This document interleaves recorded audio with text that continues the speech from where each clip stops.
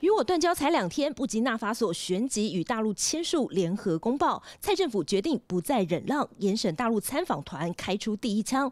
十位参加海峡百姓论坛官员来台申请遭拒，大陆国台办反批是走回头路，不得人心。谁是真正充满了自信，在修桥铺路、开放交流？谁却内心惴惴不安？一方面在筑高墙，一方面。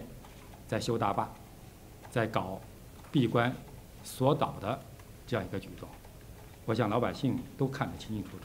而对于大陆以金钱外交打压我国际空间的说法，大陆驳斥是无中生有，以己之心度人之腹，并强调一个政党应该把人民对美好生活的追求当作奋斗目标，而不是空喊爱台湾。岛内现在的一个无色觉醒的现象。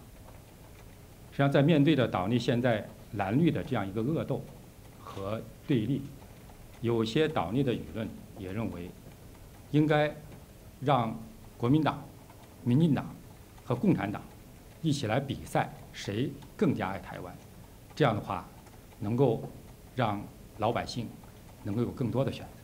究竟双城论坛今年办不办得成？大陆国台办没有把话说死，只强调只要对于城市交流保持正确的认知，他们的态度跟立场是一贯的、明确的。至于国共论坛的部分呢，则是强调和国民党是保持顺畅良好的沟通。以上是记者李宗阳七号我们在北京的采访报道。